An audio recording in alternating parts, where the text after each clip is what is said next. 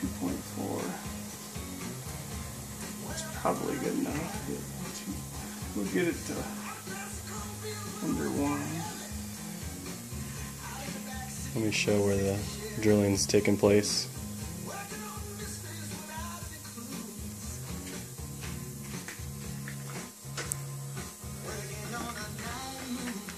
So you got three holes? Just enlarged this one, these. No, just started a little